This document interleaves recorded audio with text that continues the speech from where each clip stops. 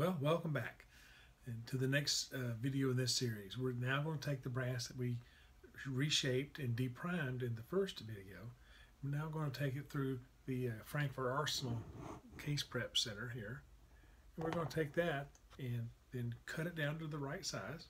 We're going to take the chamfer and deburring tool here and knock off the edges and the burrs off the neck. We're going to flip that case around and then we're going to take and, and uh, use this tool to then take the crud out of the primer pocket, remove the military crimp, and then do a what's called a use a uniformer or primer pocket uniformer to get the primer pocket just the right size to receive that new primer. So stick around. Let's do a timer on it and see how long it takes. Well, welcome back. Uh, this is Jerry with Sensible Survival Solution. We're going to take down the next video in the step of building the 5.56 cartridges. In the prior video, you saw me uh, reshape the brass and remove the spent primer. In this video, we're going to do two steps altogether. In the 308 build, I did these two steps separately. That is, I cut the case to the right length, chamfer and deburr the neck, and then in a separate video, I then uh, cleaned the primer pocket, removed the military crimp, and uh, shaped the primer pocket for the new primer. We're going to do all those together in one, one video this time. So you're going to see me, uh, first off, cut the case to the right length, take the neck and then chamfer and deburr it. Then I'm going to use this tool on this end to remove and clean the pocket. This tool then removes the military crimp and then this final tool here will reshape the primer pocket.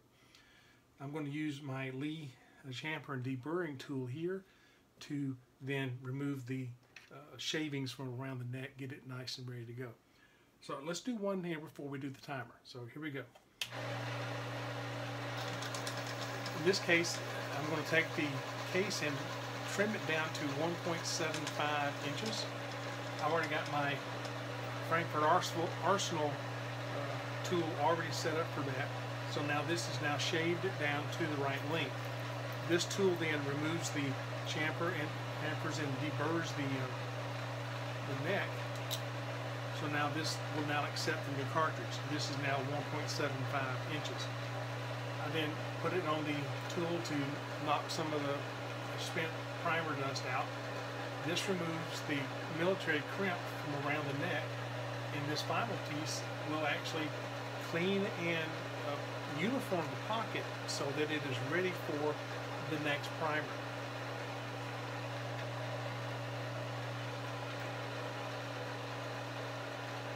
These, uh, this last step is not something that everybody does. It's something that I've learned that I like to do to make sure that that pocket is ready to receive the new primer. All right, so now that was done. It goes into my little case holder then we'll, we'll do the next 20 and time that to see how fast we go. So here we go.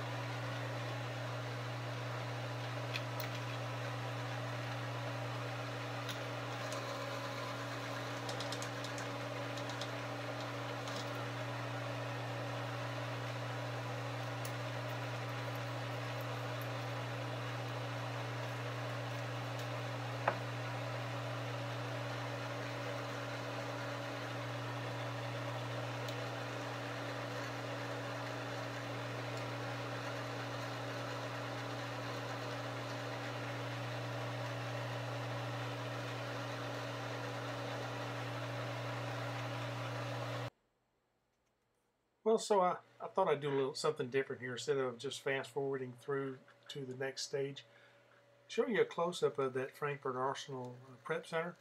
You see me now trying to do this from behind the camera, so I'm a little, it looks like I'm drunk, but I'm not. I'm going to now deburr the outside and the inside and put a little chamfer, a little angle on that inside of that neck to make that make that bullet go into the case much easier. This tool here knocks off some of the crud from the uh, primer the spent primer. This removes the military crimp, and this actually uniforms the pocket. Means it puts it right into uh, the right angles, the right angle on the inside of the primer pocket to receive that new primer. You can see also it makes it kind of clean on the inside. I do look at those uh, pretty carefully to make sure I've got the crud out and that, it, the angle is the right size. That one looks good. All right, on to the next. You also see me wearing those uh, yellow gloves I got from uh, Harbor Freight. They're rubber tips, the rubber palms on them. Makes it easier to hold on to the case that while it's being worked on. I don't have to grip it as so hard. Uh, there's no death grip needed. Uh, let the gloves do the most of the work. Now you see that's kind of dirty inside. Let's go through the steps here and we'll see what it looks like when it's done.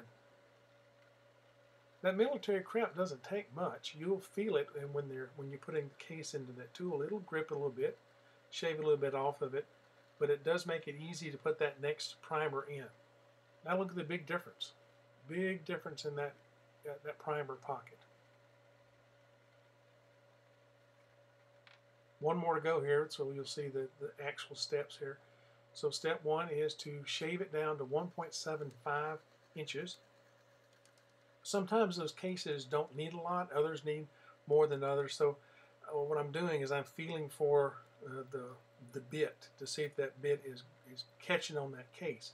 If it is, I just leave it in there for a little longer. So now I've done three steps. Number four is to get that crud out of the primer pocket, remove the military crimp, and finally do the uniform. This really saves me a lot of wrist action, this uh, Frankford Arsenal tool. I know I sound like a commercial, but gum, that thing was a, is a good tool to have. Before I was getting carpal tunnel, I was doing so many cases by hand and twisting them by hand. So there you go. That pocket is ready to go. Now on to the next stage. Okay, here we go. Last one.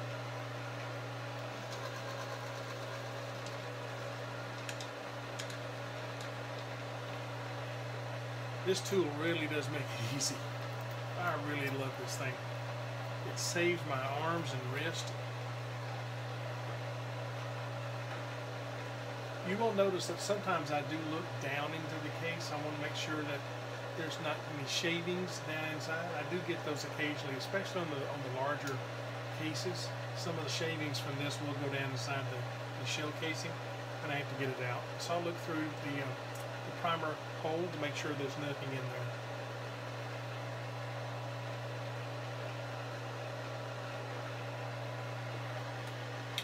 There we go just over 14 minutes to do 20 cases.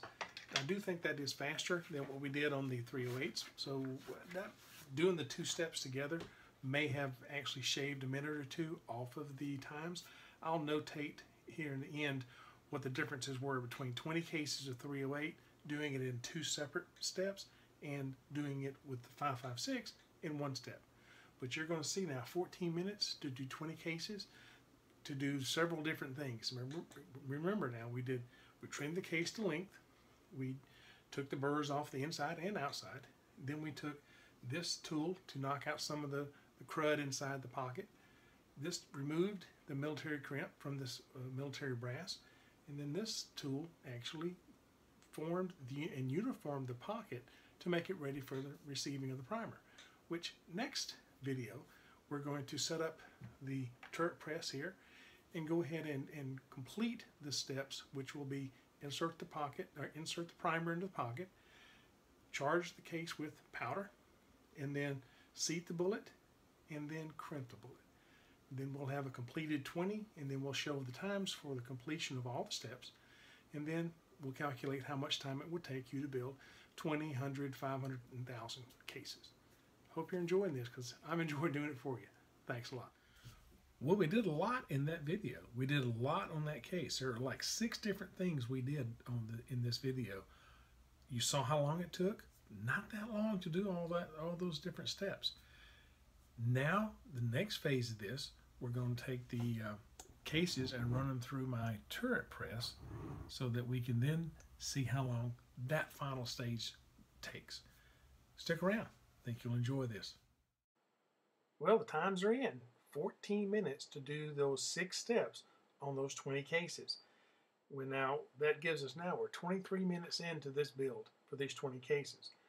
Now, by comparison to the 308, we took 17 minutes and 30 seconds to do the six same six steps. So we're 3 minutes and 30 seconds ahead on this phase. You then you add in 30 seconds we saved on the deprime and resize, and now we're 4 minutes faster on these 20 cases.